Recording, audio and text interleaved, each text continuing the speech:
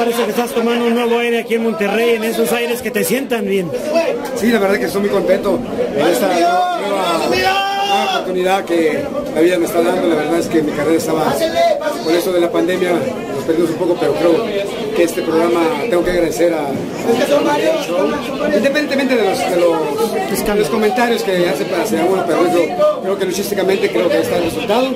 Sigo dando lo mejor y pues bueno, saludos para toda la gente, para toda la, la De repente la gente tiene que aprender a dividir ¿no? lo que es un show de televisión y lo que es arriba de cuadrilátero, como tú lo comentas bien. Claro que sí, eh, más que nada eso es lo que vengo haciendo. ¿Por qué? Porque la gente me confunde mucho en hacer confundir el show con mi trabajo. Creo que 28 años de carrera no es en vano. Tú eres testigo primordial que no, es, no ha sido una carrera fácil de subido. Eh, he picado piedra en Consejo Mundial, AAA, Consejo sea, en todas las chicas en mejor sorpresa, el cual es una agresión que se tenía por mi trabajo. Pero ahorita somos la nueva era con Ambit y subido. Por el que quiera, aquí estamos. Llámese como se llame, me he enfrentado a los mejores.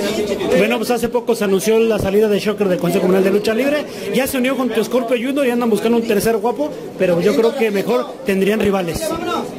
Creo que, bueno, por esta ocasión eh, ya me habló Choker, eh, ya, lo hablamos y la verdad lo estoy pensando, pero creo que eso, ese ciclo ya se cerró, de los mil por ciento guapos, ahora es la nueva era de Conan Big y Sumido. ¿Quieren enfrentar a, a, a los más odiados? Los más envidiados, no sé, ¿cómo le pueden llamar? Sin problema, aquí estamos a la orden.